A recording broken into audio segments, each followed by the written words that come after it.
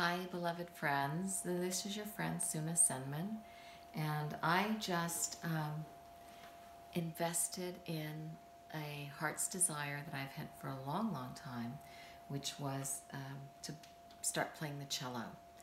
And I just bought a used cello, and from a, the, through a friend who had an acquaintance, and I have been just learning through the YouTube videos.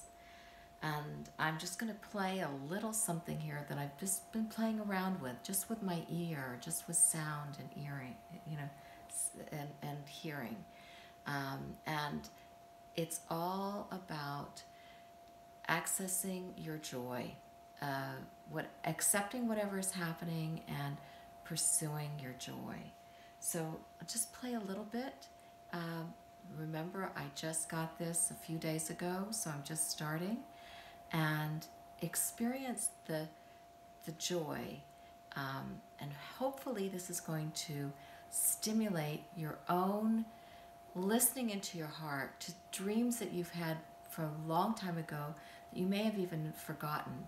Just like dig those things out of your the back of your drawers and find the uh, joys that are in your heart and take one step towards fulfilling that joy, whatever it is.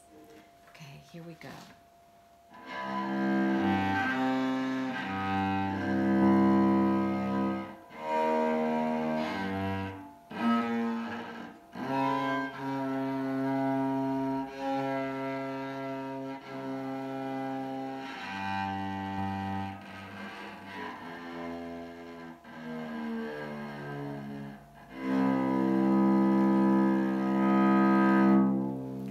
Was just a little thing that I played around with and I thought it sounded nice. And um, I also have been doing some sound alchemy using the voicing. The cello is very close to the human sound to do some uh, clearing in your own glandular system and helping with your health. So those uh, videos are going to be on um, patreon.com uh, slash Sunasenman. It's below here. I just want to encourage you to breathe.